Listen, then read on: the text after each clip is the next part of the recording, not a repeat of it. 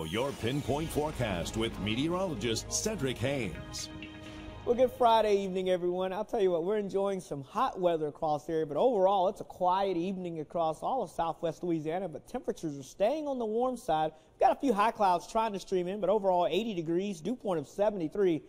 That makes it feel pretty muggy. It's definitely not one of those open the windows nights because you're not going to get a lot of cool air coming in with temperatures like that and dew points on to, to bat with that. When you add those two together, makes it feel much warmer out there. 76 currently Fay and Oakdale, 81 from Wanda Bailey and Sugartown, 82 uh, from Charles Frugier from DeRidder, 78 from Faith and Singer. We've got 80 degrees from Kent Walker and Vinton, 84 degrees from Keith Caton in downtown Deatonville, 79 from Teresa Lyons and Lake Arthur, 79 degrees currently uh, from Robert and Grand Chenier, and we got 79 degrees from Rebecca and Roanoke. So overall, it's a warm one all the way over to the Berries and Lafayette, 80 degrees currently this evening. So it's a warm one, and heading into to overnight tonight into tomorrow morning, we're going to wake up to temperatures maybe a couple of degrees uh, from where they are right now. So they're not going to drop very much. We're talking about low to mid 70s area wide, upper 70s near the coast, may see a few upper 60s to our north and east, but overall, it's going to be another warm and muggy night. And check out the satellite picture across the state.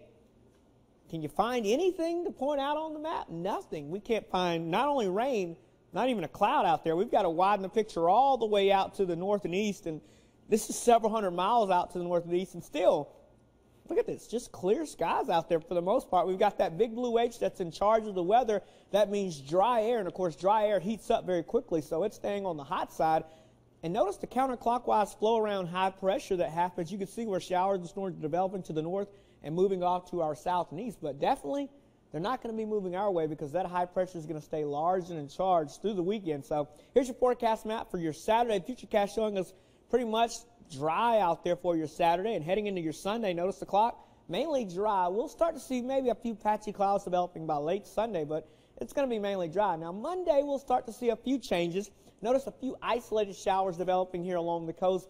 I think with enough moisture, we may see one or two isolated showers, especially along coastal areas coming up for your Monday afternoon, but it's not going to be a big rain event. But Tuesday, here's a frontal boundary that's going to be moving into northern portions of the state, and that will enhance rain chances just a bit to our north on Monday. And by Tuesday, this may get close enough to enhance rain chances just a bit, but we're still not going to be looking at a widespread rain, and the best chances of rain will still be mainly to our north. For tonight, 75. It will be humid out there, but overall quiet for the most part. For your Saturday, 94, sunny and hot out there with us. So don't expect much relief in temperatures, but at least it'll be dry out there for all your outdoor plans, and that looks to continue right into your Labor Day. Just a slight chance of a few isolated showers or storms again, mainly along the coastal areas. Temperatures will be in the 90s, so it's going to be hot and it's going to be humid, but again, mainly dry, so don't cancel any outdoor plans. A slightly better chance of rain moves in for your Tuesday, and that may stick around into your Wednesday before really decreasing. But overall, we're looking at mainly dry and uh, pretty much humid weather continuing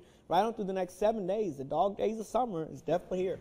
All right, hot out there for football. It's huh? definitely very hot for that. We need, we need cooler fall weather. we really football. do. Maybe what? Uh, maybe four weeks down the line. Yeah, maybe maybe six weeks is the way we're going now. I'm pushing it. Huh? Yeah, I, yeah, I, I like that though. All right, thanks a lot, Cedric. Come